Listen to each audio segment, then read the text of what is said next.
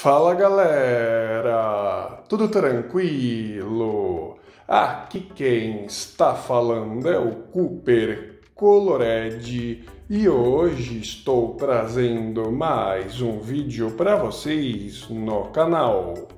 Neste vídeo eu vou mostrar onde fica a lixeira do aplicativo Canva. É muito fácil achar a lixeira aqui no aplicativo Canva em início.